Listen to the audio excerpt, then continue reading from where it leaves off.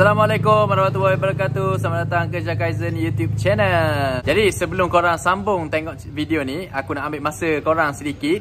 Please follow IG Syah Kaizen Dan jangan lupa subscribe YouTube channel Syah Kaizen ni ya. Assalamualaikum warahmatullahi wabarakatuh guys. So Topik kita pada hari ni ialah Aku nak uh, Membincangkan satu topik yang menjadi tanda tanya jugalah ramai yang suruh aku buat video. Tapi sebenarnya topik ni aku sendiri pun tak power sangat pun. Sebab aku bukan pemain yang power. Aku kita geng-geng ni biasa-biasa je. Topik ni lebih kepada teori. Lebih kepada teori bukan praktikal sangat. Lebih kepada teori uh, iaitu berkenaan tiga benda iaitu over square, under square dengan square. Pasal engine lah, pasal engine. Over square, under square dengan square. Ha, so pada mereka yang tahu, mungkin dah tahu. Kepada yang belum tahu, nantikan sampai habis video. Kita nak bercakap pasal tiga benda ni. Tiga benda ni, uh, panggil Character engine. Character engine uh, Kita akan cerita pasal benda ni lah. Apakah kelebihan masing-masing Function dia Dan sebagainya. Alright guys. Pertama Apabila kita sebut Pasal over square Under square Dengan square ni Character engine ni Dia melibatkan kepada Bore dengan stroke lah. Untuk ketiga-tiga karakteristik engine ni kesemuanya melibatkan bore dan juga stroke yang mana macam korang tengok sekarang ni kalau engine over square over square di mana over square dia punya karakteristik ialah saiz bore lebih besar daripada saiz stroke ha, yang pertama aku terangkan dulu lah secara terperinci kepada semua yang kedua ialah under square. Under square di mana bore lagi kecil daripada stroke. Harap dapat faham lah makna ni, tanda ni. Ha, tanda ni maknanya lagi besar, lagi kecil, sama. Kalau square pula, bore sama dengan stroke. So, apakah itu? Over square, apakah itu under square, apakah itu square. Nanti aku akan tunjuk secara teori lah. Kita akan kira sama-sama macam mana. Haa. So sekarang ni over square under square dengan square ha, Korang faham? Korang faham? Right, take note. Over square ball lagi besar dari stroke Under square ball lagi kecil daripada stroke Maknanya stroke tinggi lah. Stroke lagi besar daripada ball. Square di mana sama. Alright. Alright guys. Okay so sekarang Sekarang ni lah. So sekarang ni Kita tunjuk untuk contoh kita tunjuk uh, eh, LC dulu lah LC dulu eh Okay guys. So ni aku dah, dah tulis ni. Sebabnya aku tak nak tulis sambil rakam Sebabnya tak nampak tangan aku. Eh, Tak nampak tulisan Nampak tangan aku je. So sekarang ni aku dah tulis. Ni contoh untuk LC lah.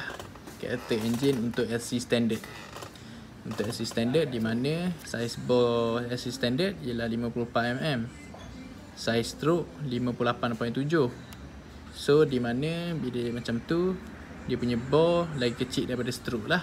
So karakter engine untuk LC135 Ialah under square Di mana under square ni stroke lagi besar daripada bore. Aku nak tunjuk ialah Apabila motor LC135 kita tukar kepada piston 65mm tetapi standard modi. Maknanya crankshaft standard stroke standard lah maknanya di mana block bersaiz 65mm stroke 58.7 standard ni stroke standard. So character engine untuk spec 65 standard modi untuk LC akan jadi over square. Sebab apa over square? Sebab apa? Sebab bore lagi besar daripada stroke. Di mana kalau LC standard kita under square. Ha, kalau LC standard under square kalau macam LC dah modi 65 standard modi jadi over square. So sekarang ni aku nak terangkan lah apa itu under square dan apa itu over square dan kelebihan dia lah. Kita nak bercakap pasal under square lah mula-mula. Yang pertama karakteristik karakter engine untuk under square ialah kebiasaannya motor-motor yang under square ni dia punya pickup memang kuat pickup memang padu sebabnya karakteristik under square memang macam tu. Sebabnya stroke dia tinggi. Stroke tinggi. Maknanya memang power lah. Pickup memang power. Maknanya biasanya uh, motor drag memang karakter karakter engine untuk motor drag ialah under square karakter engine untuk uh, drag. Biasanya under square sebabnya stroke tinggi. Uh, lepas tu apa yang kurang ni dekat motor square ni Gentera yang under square ni dia ketahanan terhadap blok biasanya dia kurang sikit. Ketahanan terhadap blok dan juga piston lah terutamanya.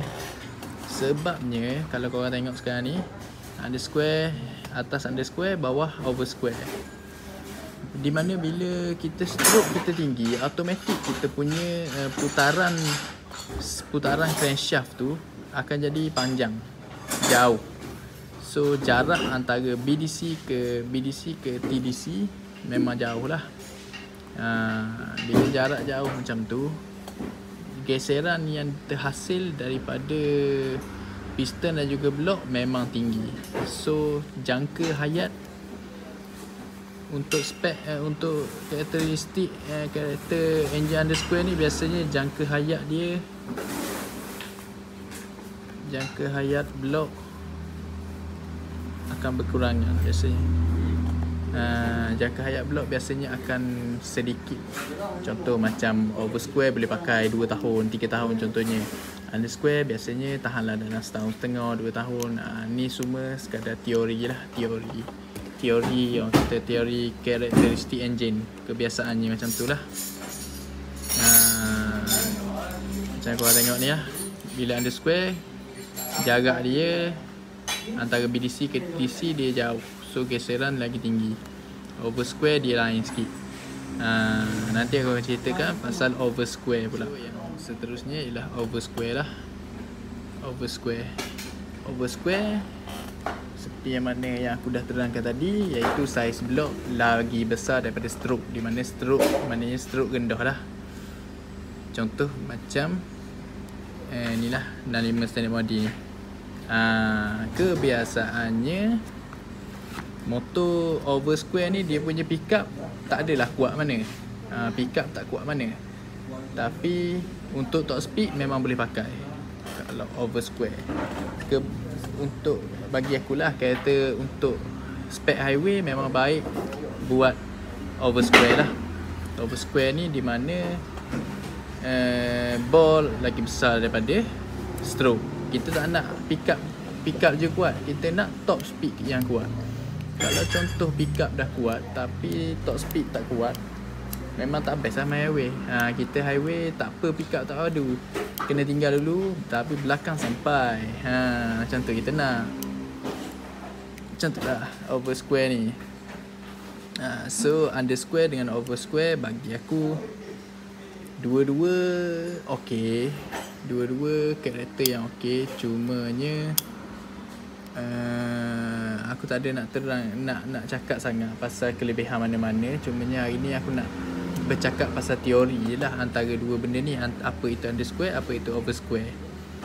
Uh, macam mana pula dengan square? Square ni di mana dia sama lah. Stroke sama dengan bore stroke sama dengan bore. Jadi pick up pick up dengan top sama je. Dia tak ada dominan lah antara dua-dua tu.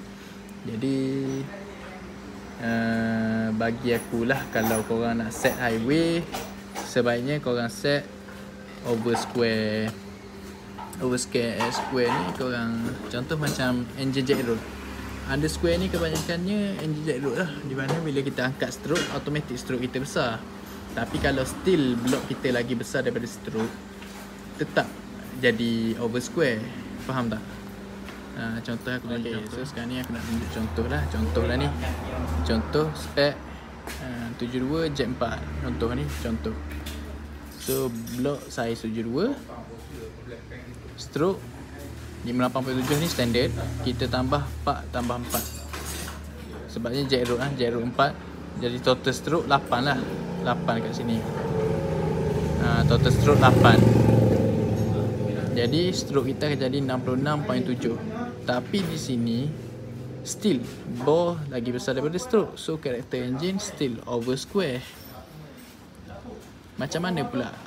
Bila jack road ni akan jadi under square ha, jadi under square apabila kita punya block size 65 contoh.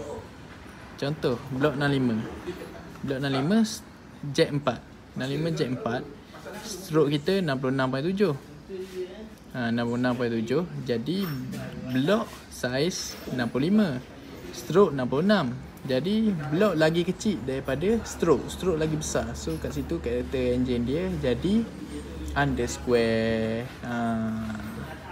Macam tu lah macam tu. Begitulah karakter. Orang kata pasal uh, over square, under square dan juga square. Untuk hari ni lah penerangan pasal hari ni. Karakter engine untuk spek-spek yang dinyatakan dari segi kelebihan yang mana lagi baik, yang mana yang terbaik, yang mana yang best aku tak ada nak terangkan sangat sebab aku sendiri pun tak tahu. Kalau ada yang lagi pakar daripada aku boleh bagi tahu boleh nyatakan sebab benda ni teori je. Tak semestinya apa yang aku cakap ni betul. Tak semestinya teori ni betul jadi macam tu lah. Macam tu lah untuk hari ni Video pasal over square, under square dengan square. So Apa yang aku cerita pada hari ni Ialah teori semata-mata Teori sahaja. Tak ada Orang kata Kita uji sendiri je lah. Ada, Tapi ini. secara theoreticalnya macam tu lah. Engine under square ni pick up kuat. Uh, Over square ni top speed kuat. Uh, So macam tu lah. Harap ilmu ataupun penerangan aku hari ini berguna kepada semua. Terima kasih semua. Kita berjumpa lagi lah di video yang seterusnya. Goodbye. Assalamualaikum warahmatullahi wabarakatuh.